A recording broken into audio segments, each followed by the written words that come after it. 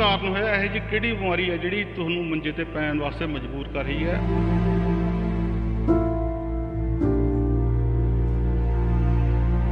ਇਹ ਜੀ ਮੇਰਾ ਬੇਟਾ ਕਾ ਮਰਨ ਦੇ ਕਾਰਨ ਹੋਈ ਹੈ।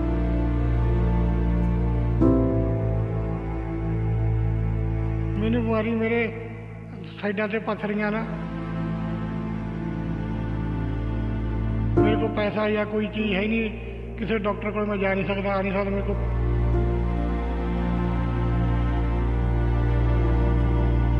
ਨਾ ਕੋਈ ਭੈਣ ਭਾਈ। ਦੇਖ ਕੇ ਸਾਡੀ ਹੈਲਪ ਕਰ ਜਾਂਦਾ ਕੋਈ ਦੇ ਜਾਂਦਾ ਮਾੜੀ ਮੋਟਾ ਤਾਂ ਸਾਡੀ ਗੱਡੀ ਰੋਟੀ ਦਾ ਗੁਜ਼ਾਰਾ ਚੱਲੀ ਜਾਂਦਾ ਨਹੀਂ।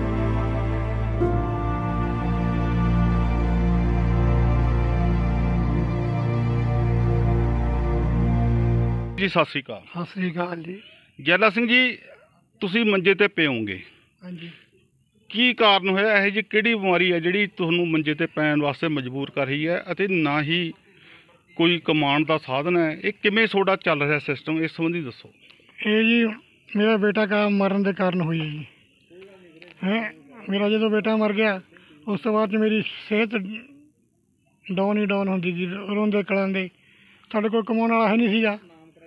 ਹੈ? ਇਸ ਕਰਕੇ ਸਾਨੂੰ ਇਦਾਂ ਹਾਲਤ ਹੋ ਗਈ ਜੀ ਮੇਰੀ ਮੰਜ਼ਿਲ ਤੇ ਮੈਂ। ਕੀ ਤੁਹਾਨੂੰ ਬਿਮਾਰੀ ਕੀ ਹੈ ਜੀ? ਮੈਨੂੰ ਬਿਮਾਰੀ ਮੇਰੇ ਸਾਈਡਾਂ ਤੇ ਪੱਥਰੀਆਂ ਨਾ ਪੱਥਰੀਆਂ ਕਾਰਨ ਮੈਂ ਮੇਰੇ ਕੋਲ ਪੈਸਾ ਜਾਂ ਕੋਈ ਚੀਜ਼ ਹੈ ਨਹੀਂ ਕਿਸੇ ਡਾਕਟਰ ਕੋਲ ਮੈਂ ਜਾ ਨਹੀਂ ਸਕਦਾ ਆ ਨਹੀਂ ਸਕਦਾ ਮੇਰੇ ਕੋਲ ਇਲਾਜ ਕਰਾ ਨਹੀਂ ਸਕਦਾ ਸੀਗਾ। ਤੁਹਾਡੇ ਪਿਤਾ ਜੀ ਫੌਜ ਦੇ ਵਿੱਚ ਸੀ ਕੀ ਸਰਕਾਰ ਬੰਨਿਓ ਕੋਈ ਤੁਹਾਨੂੰ ਮਦਦ ਕਿਸੇ ਤਰ੍ਹਾਂ ਦੀ ਮਿਲੀ? ਹੈ ਨਹੀਂ ਨਹੀਂ ਮਿਲੀ। ਕੀ ਤੁਸੀਂ ਸਰਕਾਰ ਤੋਂ ਅਣਦੇਖਿਆ ਤੁਸੀਂ ਮਹਿਸੂਸ ਕਰਦੇ ਹੋਵੋਗੇ ਆਪਦੇ ਆਪ ਨੂੰ? ਫਿਰ ਤੁਹਾਡੀ ਰੋਟੀ ਦਾ ਪ੍ਰਬੰਧ ਕਿਵੇਂ ਚੱਲਦਾ ਸਾਰਾ? ਸਾਡੇ ਜੀ ਕੋਈ ਨਾ ਕੋਈ ਭੈਣ ਭਾਈ ਦੇਖ ਕੇ ਸਾਡੀ ਹੈਲਪ ਕਰ ਜਾਂਦਾ ਕੋਈ ਦੇ ਜਾਂਦਾ ਮਾੜੀ ਮੋਟਾ ਤਾਂ ਸਾਡੀ ਗੱਡੀ ਰੋਟੀ ਦਾ ਗੁਜ਼ਾਰਾ ਚੱਲੀ ਜਾਂਦਾ ਨਹੀਂ ਤਾਂ ਠੀਕ ਠਾਕ ਹੈ ਜੀ। ਜਿਸ ਤਰ੍ਹਾਂ ਦੇਖਿਆ ਤੁਹਾਡੇ ਘਰ ਵੀ ਨੀਵਾ ਹੋ ਚੁੱਕਿਆ ਹੈਗਾ ਇਸ ਹਿਸਾਬ ਨਾਲ ਤਾਂ ਬਾਰਿਸ਼ ਦੇ ਦਿਨਾਂ ਵਿੱਚ ਪਾਣੀ ਵੀ ਅੰਦਰ ਚਲਾ ਜਾਂਦਾ ਹੋਊਗਾ। ਹਾਂਜੀ ਫਿਰ- ਜਾਂਦਾ ਜੀ, ਜਾਂਦਾ ਜੀ। ਤੁਸੀਂ ਘਰ ਦੇ ਵਿੱਚ ਹੈਗੇ ਵੀ ਦੋ ਜੀ ਹੋਗੇ ਹਾਂਜੀ। ਕਿਵੇਂ ਕਰਦੇ ਹੋ ਫਿਰ ਤੁਸੀਂ? ਤੁਸੀਂ ਇਹ ਮਾਈ ਵਿਚਾਰੀ ਇਹ ਕੱਢਦੀ ਵਿਚਾਰੀ ਹੋਰ ਤਾਂ ਕੋਈ ਕੱਢ ਨਹੀਂ ਸਕਦਾ ਜਾਂ ਆਂਢੀ ਗੁਆਂਢੀ ਕੋਈ ਨਾ ਕੋਈ ਹੈਲਪ ਕਰ ਦਿੰਦਾ ਆ ਕੇ ਹੋਰ ਤਾਂ ਸਾਡਾ ਕੋਈ ਹੈ ਨਹੀਂ ਜੀ। ਉਹ ਵੀ ਜੇ ਕਿਸੇ ਦਾ ਦਿਲ ਚਾਹੇ ਤਾਂ ਕਰਦਾ ਅਗਲਾ ਮਦਦ ਨਹੀਂ ਕਰਦਾ ਤਾਂ ਨਹੀਂ ਕਰਦਾ ਜੀ। ਅੱਜ ਕੱਲ੍ਹ ਜ਼ਮਾਨਾ ਐਸਾ ਆ ਗਿਆ। ਹੈ? ਜਿਸ ਹਿਸਾਬ ਨਾਲ ਮਾਤਾ ਦੀ ਉਮਰ ਹੈਗੀ ਉਹਨਾਂ ਨੂੰ ਤੁਹਾਨੂੰ ਚੱਕਣ ਚ ਵਿੱਚ ਵੀ ਤਕਲੀਫ ਹੁੰਦੀ ਹੋਣੀ। ਹੁੰਦੀ ਹੈ ਜੀ ਬਿਲਕੁਲ ਬਿਲਕੁਲ ਹੁੰਦੀ ਹੈ ਜੀ।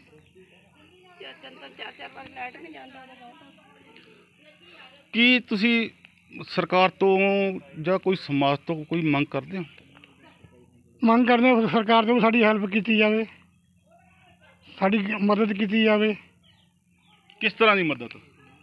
ਸਾਡੀ ਦਵਾਈ ਬੂਟੀ ਦਾ ਪ੍ਰਬੰਧ ਹੋਣਾ ਚਾਹੀਦਾ ਹੈ। ਸਾਡੇ ਖਾਣੇ ਪੀਣੇ ਦਾ ਪ੍ਰਬੰਧ ਹੋਣਾ ਚਾਹੀਦਾ ਜੀ। ਸਾਡੇ ਕੋਲ ਤਾਂ ਕੋਈ ਹੈ ਹੀ ਨਹੀਂ। ਕਮਾਉਣ ਵਾਲਾ ਹੈ ਨਹੀਂ ਇੱਕੋ ਹੀ ਬੇਟਾ ਸੀ ਉਹਦੀ ਡੈਥ ਹੋ ਗਈ। ਇੱਕ ਸੀਨੀਅਰ ਸਿਟੀਜ਼ਨ ਦੇ ਤੌਰ ਤੇ ਵੀ ਅਸੀਂ ਦੇਖੀਏ ਤਾਂ ਸਰਕਾਰ ਨੂੰ ਜਾਂ ਪ੍ਰਸ਼ਾਸਨ ਨੂੰ ਇਹਨਾਂ ਦੀ ਮਦਦ ਕਰਨੀ ਬਣਦੀ ਹੈ।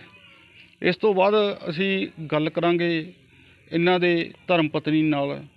ਅਸੀਂ ਗੱਲ ਕਰਾਂਗੇ ਜੈਲਾ ਸਿੰਘ ਦੀ ਘਰਵਾਲੀ ਨਾਲ ਮੁਖਤਿਆਰ ਕੌਰ ਨਾਲ। ਮੁਖਤਿਆਰ ਕੌਰ ਜੀ ਸਤਿ ਸ੍ਰੀ ਅਕਾਲ। ਸਤਿ ਸ੍ਰੀ ਅਕਾਲ ਜੀ। ਮੁਖਤਿਆਰ ਕੌਰ ਜੀ ਇਹ ਮਾਤਾ ਜੋ ਪਏ ਨੇ ਮੰਜੇ ਤੇ ਇਹਦੀ ਸਭ ਤੋਂ ਵੱਧ ਮੁਸ਼ਕਲ ਤਾਂ ਤੁਹਾਨੂੰ ਆਉਂਦੀ ਹੋਣੀ ਹੈ। ਪੂਰੀ ਜੀ ਪੂਰੀ ਆਉਂਦੀ ਹੈ ਜੀ। ਮੈਂ ਕੰਮ ਕੱਲੀ ਜਾਣੀ ਸਾਂਭਦੀ ਆ ਕਰਦੀ ਆ ਜੀ ਜਦੋਂ ਫਿਰ ਮੈਨੂੰ ਕਦੇ ਕਦੇ 2 ਵਜੇ ਵੀ ਉਠਾ ਕੇ ਕਦੇ 3 ਵਜੇ ਵੀ ਉੱਠਣਾ ਪੈਂਦਾ ਕਦੇ 5 ਵਜੇ ਵੀ ਉੱਠਣਾ ਪੈਂਦਾ। ਹੈ ਇਹਨੂੰ ਨਵਾਉਣ ਧਵਾਉਣ ਦੀ ਵੀ ਬਹੁਤ ਦਿੱਕਤ ਆਉਂਦੀ ਹੈ। ਤੇ ਮੈਨੂੰ ਇਹ ਵੀ ਸਾਡੇ ਕੋਈ ਹੈਲਪ ਕਰੇ ਤਾਂ ਸਾਡਾ ਟਾਈਮ ਜਿਵੇਂ ਤੁਸੀਂ ਇਹਨੂੰ ਹੋ ਧਵਾਉਂਦੇ ਹੋ ਰੋਟੀ ਪਾਣੀ ਵੀ ਕਰਦੇ ਹੋ ਫਿਰ ਕੰਮ ਤੇ ਜਾਣ ਦਾ ਵੀ ਤੁਹਾਡਾ ਕੋਈ ਹਿਸਾਬ ਕਿਤਾਬ ਨਹੀਂ ਬਣਦਾ ਹੋਣਾ। ਨਹੀਂ ਬਣਦਾ। ਫਿਰ ਕਿਵੇਂ ਗੁਜ਼ਾਰਾ ਕਰਦੇ ਹੋ ਤੁਸੀਂ ਸਾਰਾ? ਜੀ ਅਸੀਂ ਕਦੇ ਭੈਣ ਭਾਈ ਕਦੇ ਸਾਨੂੰ ਕੋਈ ਰਾਸ਼ਨ ਦੇ ਜਾਂਦਾ ਹੈ, ਕਦੇ ਕੋਈ ਦੇ ਜਾਂਦਾ ਹੈ, ਕਦੇ ਗੁੱਡੀਆਂ ਆਈਆਂ ਮੇਰੀਆਂ ਚਾਰ ਕਦੇ ਵਿਚਾਰੀਆਂ ਉਹ ਆ ਜਾਂਦੀਆਂ ਉਹ ਸਾਡੀ ਹੈਲਪ ਕਰਦੀਆਂ ਬਸ ਕਦੇ 50 ਦੇਗਾ ਕੋਈ 100 ਦੇਗਾ ਬਸ ਉਹਦੇ ਤੇ ਮੈਂ ਗੁਜ਼ਾਰਾ ਕਰ ਲੈਂਦੀ ਹਾਂ ਆਪਦਾ। ਜਦੋਂ ਜ਼ਿਆਦਾ ਬਿਮਾਰ ਹੋ ਜਾਂਦੇ ਫਿਰ ਕੀ ਕਰਦੇ ਹੋਗੇ ਫਿਰ ਕੀ ਕਰਨਾ ਸੀ ਜੀ? ਬਸ ਕੋਈ ਡਾਕਟਰ ਨੂੰ ਸੱਦ ਲੈਣੀ ਹੈ। ਕੋਈ 150 ਕਿਸੇ ਤੋਂ ਭੈਣ ਭਾਈ ਤੋਂ ਫੜ ਲੈਣੇ। ਪਿੰਡ ਗਲੀ ਦਾ ਪਹਿਲਾਂ ਮੈਂ ਕੰਮ ਕਰਦੀ ਸੀ ਜੀ। ਹੁਣ ਜਿੱਦੇ ਦਾ ਇਹ ਬਾਹਰ ਤੰਗ ਹੋ ਗਿਆ ਉਦੋਂ ਦੇ ਮੈਂ ਜੀ ਹਟ ਗਈ ਹੈ। ਇਹ ਮੈਨੂੰ ਜਾਣ ਨਹੀਂ ਦਿੰਦਾ ਬਾਹਰ। ਇਹ ਕਹਿੰਦਾ ਵੀ ਜੇ ਮੇਰੀ ਜਾਨ ਨਿਕਲ ਜਾਓ ਜੇ ਤੂੰ ਬਾਹਰ ਭੱਗ ਗਈ। ਠੀਕ ਹੈ ਨਾ? ਹੁਣ ਅਸੀਂ ਬਹੁਤ ਮਜਬੂਰ ਹਾਂ ਜੀ। ਕੀ ਮੰਗ ਕਰਦੇ ਹੋ ਪ੍ਰਸ਼ਾਸਨ ਜਾਂ ਸਰਕਾਰ ਤੋਂ? ਅਸੀਂ ਆਹੀ ਮੰਗ ਕਰਦੇ ਹਾਂ ਜੀ ਵੀ ਆ ਜਿਹੜੇ ਅਸੀਂ ਬੈਠੇ ਸਾਡੇ ਡੁੱਬਣ ਤੋਂ ਸਾਨੂੰ ਬਚਾ ਦੇਣਾ। ਤੇ ਵੀ ਸਾਨੂੰ ਰਾਸ਼ਨ ਪਾਣੀ, ਸਾਨੂੰ ਕੋਈ ਦਵਾਈ ਬੂਟੀ ਦਾ ਸਾਡਾ ਹੱਲ ਹੋ ਜੇ। ਬਸ ਆਹੀ ਮੰਗਦੇ ਹਾਂ ਜੀ, ਹੱਥ ਬੰਨ ਕੇ ਬੇਨਤੀ ਹੈ। ਠੀਕ ਹੈ ਨਾ?